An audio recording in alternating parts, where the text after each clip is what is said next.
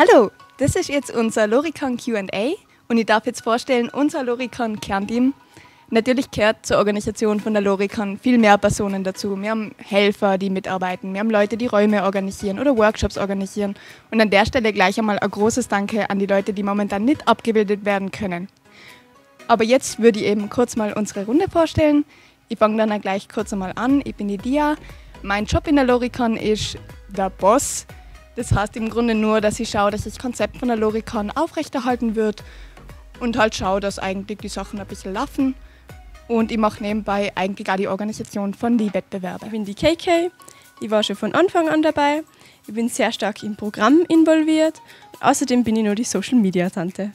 Hallo, ich bin der Eggy. Ich bin für alles zuständig, was mit der Technik zu tun hat und ich bin sozusagen der Technikchef. Hallo, ich bin die Marie.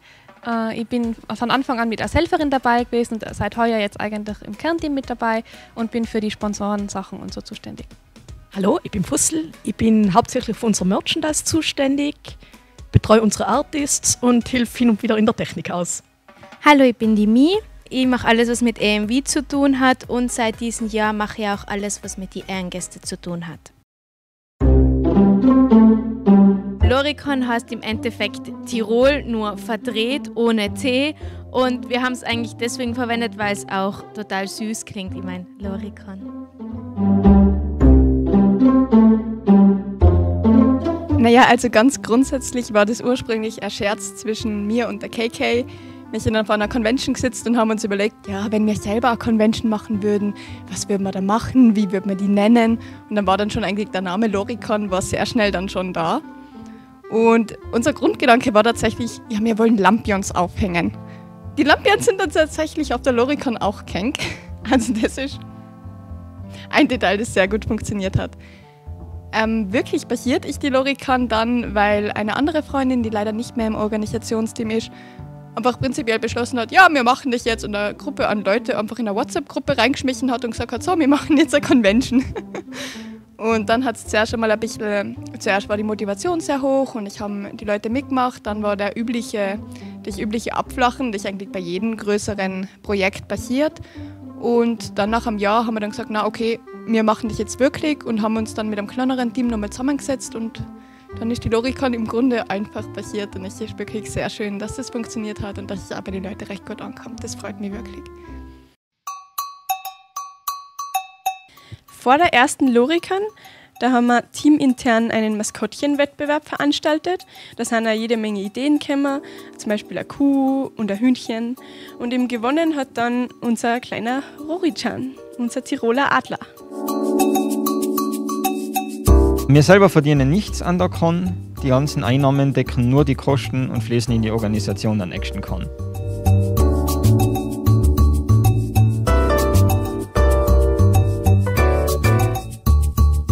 Also wir sind eigentlich deswegen in Seefeld, weil einerseits die Location total schön ist, also gerade vom Panorama her total super für Fotos geeignet. Also wir haben auch ähm, viele Grünflächen. Wir haben das Kino bei der Location dabei, was total lässig ist. Prinzipiell ist Seefeld auch sehr gut erreichbar, sowohl mit dem Auto als auch mit den anderen öffentlichen Verkehrsmitteln. Wir können super balken dort Prinzipiell sind wir nicht abgeneigt, nach Innsbruck zu gehen und prinzipiell, wenn einmal die Besucherzahlen so hoch sind, dass wir in Seefeld keinen Platz mehr haben, dann würden wir vielleicht auch nach Innsbruck gehen. Aber im Moment sind wir eigentlich sehr glücklich mit Seefeld und genießen es da oben. Ja, also bei uns mitmachen ist eigentlich total einfach. Es gibt ganz viele verschiedene Möglichkeiten. Ihr könnt euch als Helfer bewerben bzw. als Helfer mitmachen. Man kann Vorschläge schicken für Workshops oder Wettbewerbe, beziehungsweise wenn man will, kann man auch einen, einen Wettbewerb organisieren oder einen Workshop organisieren und halten. Ihr könnt uns auch einfach schreiben auf unseren Social Media Accounts oder auf unsere E-Mail-Adresse mit team.loricon.at. Und ja, also es gibt ganz viele Möglichkeiten mitzumachen, wenn man will. Wir sind offen für alle Vorschläge und würden uns freuen, wenn jemand was schickt.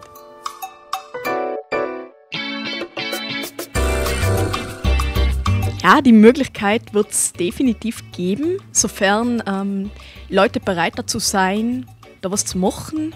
Das gleiche gilt natürlich auch für Workshops oder auch für andere Vorträge. Also, wenn ihr Ideen habt, meldet euch. Bei unseren Wettbewerben ist prinzipiell immer im Vorhinein ähm, eine gewisse Vorlaufzeit. Ich wird dann immer online auf unserer Webseite und auch auf Social Media bekannt gegeben.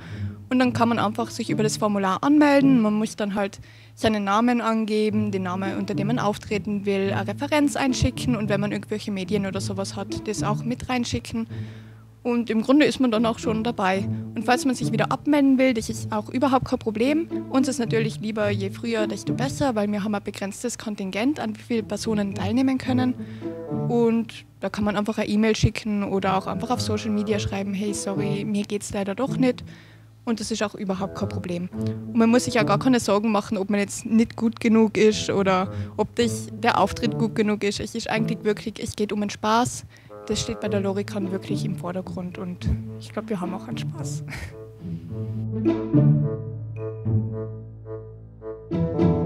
Also gesunken würde ich unsere Titanic jetzt nicht nennen. Aber wir machen einen kleinen Umweg und ankern dann nächstes Jahr wieder vor Seefeld.